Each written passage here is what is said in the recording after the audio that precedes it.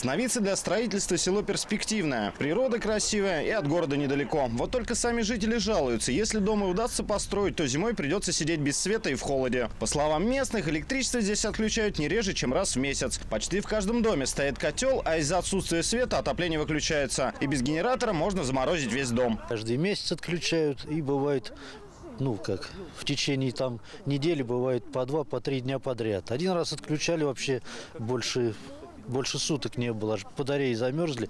Пришлось даже уезжать домой, ну, в город ехать к родственникам жить, ну, переночевать, чтобы как-то перевести, ну, пережить-то это. При этом во многих домах живут маленькие дети, которые просто боятся замерзнуть в темноте. Но даже когда свет есть, претензии к подаче электроэнергии остаются. Из-за постоянных скачков напряжения из строя выходит совсем не дешевая бытовая техника. У нас страдает морозильная камера, у соседей морозильная камера вышла из строя, а микроволновая печь не греет на полную мощность.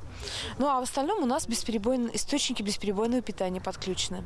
То есть это дополнительные траты, чтобы техника не входила из строя. На самом деле ничего здесь нельзя поделать. Мы просто сидим в темноте, включаем фонарики, свечки и закрываем комнату, чтобы тепло не уходило. Причина постоянных отключений света, уверены местные жители, в старом маломощном трансформаторе. Он просто не выдерживает нагрузки из-за большого количества подключений. Сновидцы за последнее время сильно разрослись, а трансформатор был рассчитан на маленький поселок. Практически каждый, каждый месяц происходит. Бывает чаще. Даже летом а, там происходит а, скачки, отключения, там, когда дождь, молния. А зимой происходит чаще. От перегрузки трансформатора он не выдерживает как бы существующих нагрузок. Проблемы, по словам местных жителей, существуют уже порядка 4-5 лет. Ровно год назад люди уже рассказывали об этой ситуации нашему телеканалу. На тот момент представители Владимирских электрических сетей заверили, что об отключениях им известно. И все необходимые работы по замене оборудования проведены. Там было технологическое нарушение по стороне 0,4 киловольта. Оно устранено. Все сейчас там так, 2 числа. И больше ничего этого не случится. В частности, э, для села Сновица была восстановлена кольцевая линия, которая была разворована.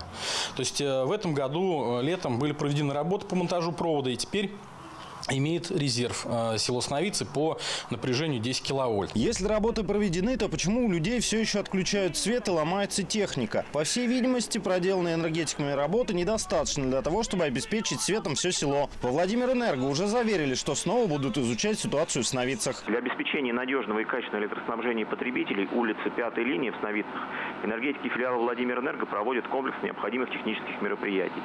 Комплектной трансформаторной подстанции, питающей линию улицу, напряжение поднято до нормативного уровня. И на этой неделе на данной улице будет проведен повторный аудит электрических сетей. По словам энергетиков, такие отключения могут действительно случаться из-за нагрузки на трансформаторную подстанцию. Но точно это можно будет сказать только после проведенного аудита, который укажет на истинную причину неполадок. Константин Миронов, Дмитрий Журавлев, Шестой канал.